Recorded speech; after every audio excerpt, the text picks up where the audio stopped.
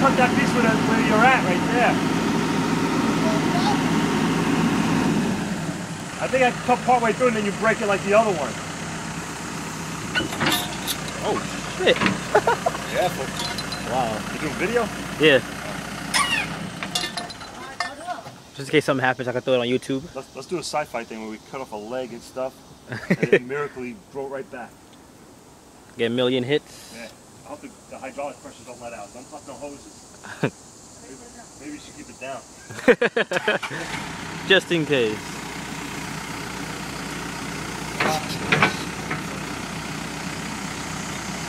Uh, Mr. Joel?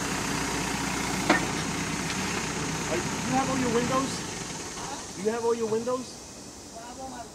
Do you have all your windows there? They're they intact? Okay. No.